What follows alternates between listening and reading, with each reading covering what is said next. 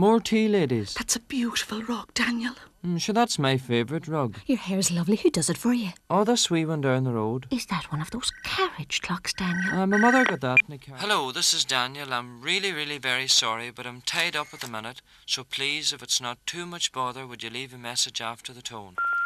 Oh, Daniel, that's a lovely answering machine. Get an answering machine at your local telecentre or call us for information now. Ah, I thought it was a good likeness too.